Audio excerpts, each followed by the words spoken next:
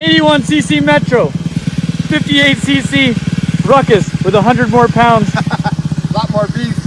But we're gonna try it, see what the difference is. Ready? One, two, three.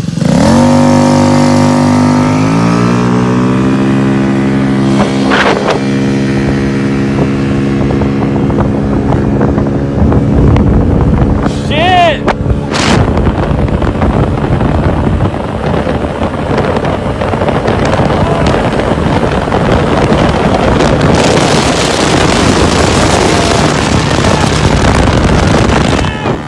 What the hell? What the fuck?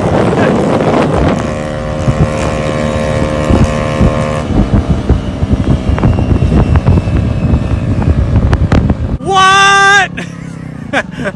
Serious? Were you full bore? Full bore, dude. Popcorn, peanuts, tune-ups. We're almost there. We're almost there.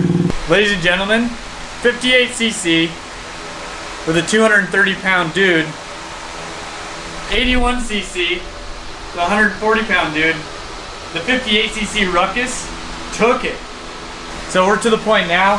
The fuel injection system isn't like perfect yet, but it's good enough to like, well, he's here. Adam, he's only here for like two more hours or something. We got to put this uh, Dr. Pulley clutch in there. We're gonna dial this in and uh, see, see if we can get a little more juice out of it. Let's do it. So I haven't really recorded much of this, but I've been tinkering my head off with this Ruckus. Um, and Adam, you met Adam. He rode the Ruckus. Uh, this is his Ruckus, by the way.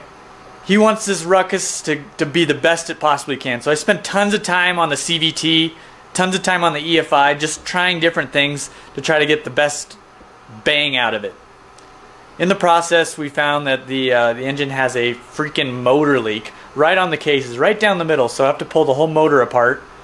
And the top speed is roughly around 50 miles an hour. I've gotten like 51 and you know 48, and just like it, it kind of goes around 50 miles an hour. It's got tons of low end torque. So I, I'm almost 100% sure there should have been Metro gears put in, in into that uh, engine, and I don't think they're in there. But to make a long story short, I've got gearing that goes even higher than the Metro. So we'll put those in. We got man in the box titanium valves. I'll do that. There's just a, and I'm gonna port the head too. There's just like a lot of like little things that I'm gonna do. So I need to get this motor out. Let's do it.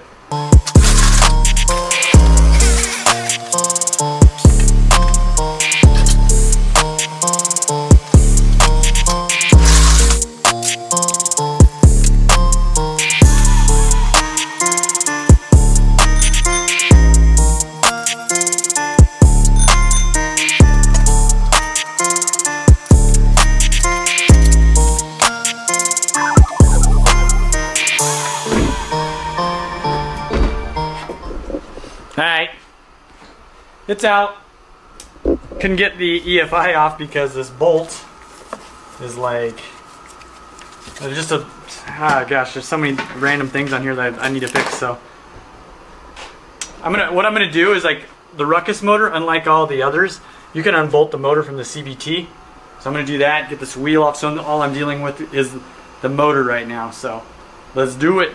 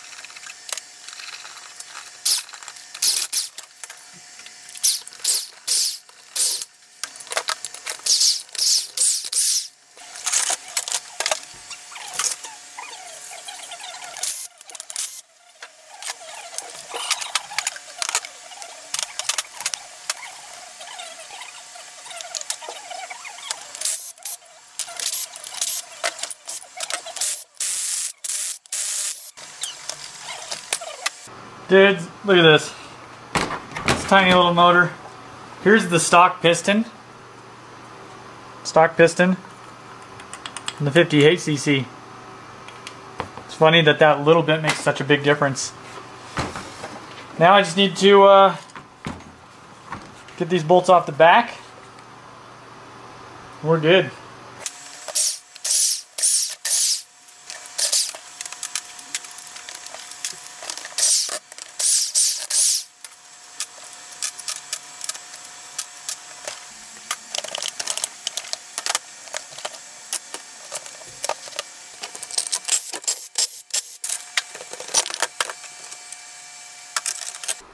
Got everything apart.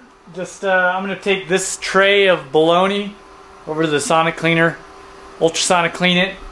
Just get this stuff like super prepped, all um, just degreased, and once I degrease it, then I'll uh, kind of scrape like uh, like I've got some silicone and stuff that I need to get off of here. This little baby 58cc is so cute. works at a big, broad picture. Then, the first uh, developing your content calendar, setting up your business. I was waiting for all those pieces. I just put this 76cc big bore kit in this uh, little Yamaha Vino. Got the gearing in there, the 76cc. But uh, back to uh, back to these. These are all cleaned up, looking super slick, like brand new. Check it. Everything's like brand new. Head is all cleaned up. Everything's good to go. We got the JC cam and titanium valves from Man in the Box. But what I want to do, let's measure these valves versus these and see what the weight is, and then same with the other stock cam. Let's see what happens. So here, let's let's weigh these uh, stock valves. 27 grams. Okay, man the box valves, titanium. 16, so we saved 11 grams. One other thing we didn't talk about, so here's like a stock flywheel for a, just a get motor that we're working on here. And here is a lightened flywheel. This was a, this was lightened, not by me, but it was lightened. Hopefully I'll have these on the website. Maybe check the link below. Um, so here's the difference. What I want to see is like what's the weight difference. So we're going to add up all the weight um, changes on this. As you know, or maybe you don't, whenever you have like heavy stuff, you have more rotating mass, more weight. Um, like a two-stroke revs up really high.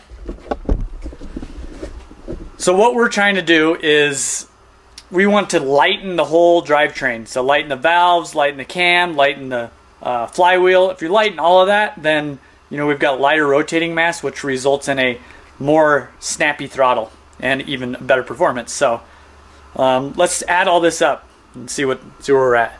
So you got um, stock flywheel. Make sure there's nothing in there. I always got to check for bolts and stuff magnetized in there. So um, say okay, uh, 982.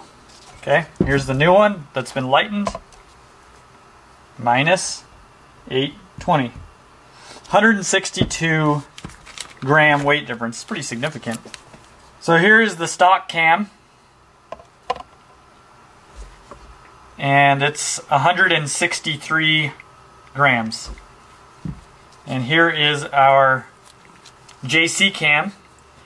Keep in mind the lobes from the stock cam are bigger, so it probably is going to weigh a little bit more. Let's see. 174. 174, I think it was 163. Yeah. We actually increased 11 grams. So, in short, the new cam weighs about 11 grams more than the stock cam because it's been built up to have a more loby cam, more metal basically. And then we've upgraded to titanium valves, and uh, that pretty much, you know, they're 11 grams lighter, so it's a wash. But at least it's not weighing more. So my suggestion to you, if you're doing a cam, do titanium valves with it. That way you don't have a heavier drivetrain. And obviously, you know, the uh, lightened flywheel, that's pretty much a must. That's, that's a good idea.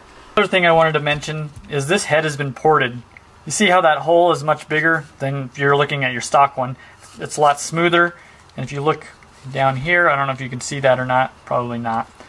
But it's it's nice and smooth. So uh, all of this has been ported. That adds performance for sure.